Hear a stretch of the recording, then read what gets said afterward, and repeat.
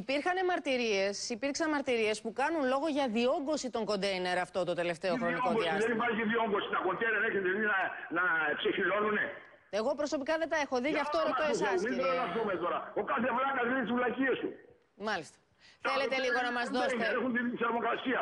Έχετε Ενώ λι- τα πυρομαχικά πρέπει να είναι σε αποθήκε, σε αποθήκες, σε ίγκλου, με θερμοκρασίες 10 και Κύριε οχτώ Καπράλη, βαθμούς κάτι Κελσίου. τελευταίο. Και Θέλετε λίγο να μας δώσετε θερμοκρασία. Την, την ένταση τη. Και αν επιθεωρηθούν ότι έχουν φτάσει στο τελευταίο όριο της ζωής τους, ότι είναι ακατάλληλα πλέον και θα έχουμε έκρηξη, τότε τα παίρνουμε και τα καταστρέφουμε. Κύριε Είναι Καπράλη, έκρηξη. κάτι τελευταίο. Με Είναι ακούτε; κατάστασεως. Με ακούτε λίγο, σας παρακαλώ; Μπορείτε λίγο να μας δώσετε την, την, την ένταση αυτής της έκρηξης. Οι εικόνες που έχουμε από την Κύπρο θυμίζουν πολύ της Φουκουσίμα τις ζημιές.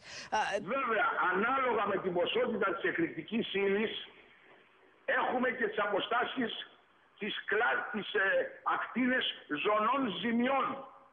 Μπορεί να φτάσουν και τα 100 μέτρα και τα 500 μέτρα και τα 1000 μέτρα. Το Έχουν, οξικό κύμα. Το οποίο έχουν οξικό ξεφύγει κύμα από την ακτίνα που μας λέτε; χιλιάδες μέτρα το δευτερόλεπτο ταχύτητα εκρήξεως. Γι' αυτό έχουμε και τόσους νεκρούς. Πρέπει να είχαν και μεγάλες ποσότητες μέσα στα κοντέινερ. Πώς χαρακτηρίζεται λοιπόν το γεγονός ότι όλα αυτά ενώ είναι γνωστά και θεωρούνται και αυτονόητα δεν τηρήθηκαν σε καμία Καθώς- περίπτωση σε μια καθώς ναυτική είχαν βάση; Δεν παραμείνει μιλάμε. εκεί τα πυρομαχικά σε αυτές τις αντίξωες συνθήκες τις αντίξωες συνθήκες μέσα στα κοντέινερ. Τα πυρομαχικά αυτά έπρεπε να έχουν επιθεωρηθεί από πυροτεχνουργούς, από χημικούς, από εξειδικευμένα άτομα και να είχαν καταστραφεί. Μάλιστα. Εάν είχαν φτάσει στο τελευταίο όριο της ζωής τους.